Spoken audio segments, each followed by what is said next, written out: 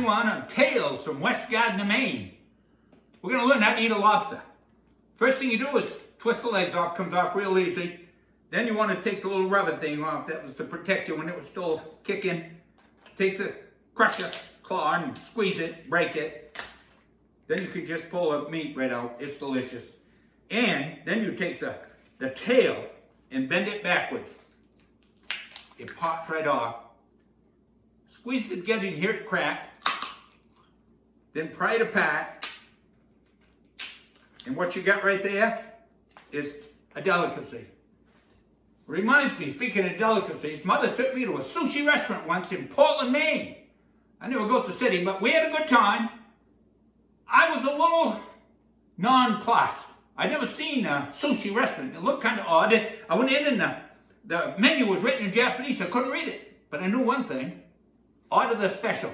It's always going to be delicious.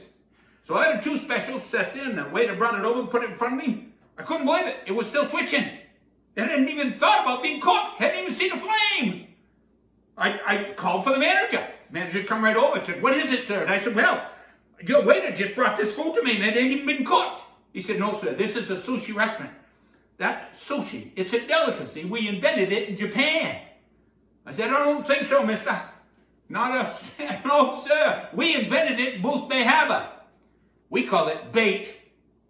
There you have it. Hey, take care of each other. Stay separated. And welcome to day 23 of Tales from West Gardiner, Maine. I'm a little nervous this morning. Uh, had to get my bike out because mother says I can't get enough distance on foot between us. So here I go.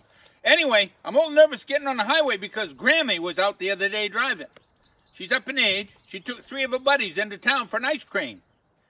Well, she got pulled over. Police officer come up and checked the license registration. Says, you're all set except, uh, madam, you got to pick up the pace. You're driving too slow. She said, what do you mean? I always drive the speed limit exactly. He said, oh, you weren't in this case. You were going way too slow. Well, sir, I was driving the speed limit. Said so right there in that sign, 22 miles an hour. He said, madam, that's not the speed limit sign. That's the route number.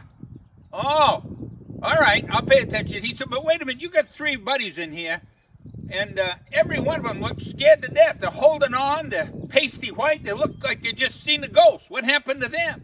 Well, she said, we just got off Route 102.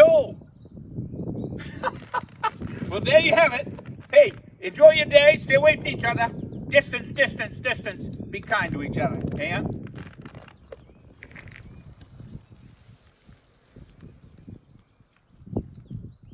Welcome to day 24 of Tales from West Gardiner, Maine. This is Cobbossee Stream right behind me right here. Yeah. Hey, I got to tell you, one of the fellows in town was taking care of his uncle, thought he might have the virus, put him on a special diet of pancakes and flounder. His uncle said, do pancakes and flounder help me if I get the virus? Nope, not at all, but he said I can, uh, I can slide it under your door.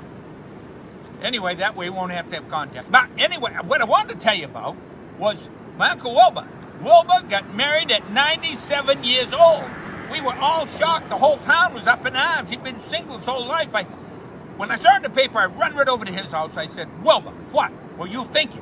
Why you getting married at 97? You're wealthy? You got a nice place on the lake? What were you thinking? Well, Gary, he says, uh, it's like this. If she's a good woman, she was worth waiting for. if she ain't, I ain't got that long to live with her. hey, take care of each other and uh, be kind to each other. We all need it. Special time, yeah?